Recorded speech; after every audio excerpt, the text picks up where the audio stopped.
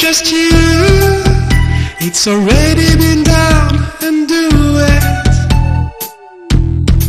It takes two.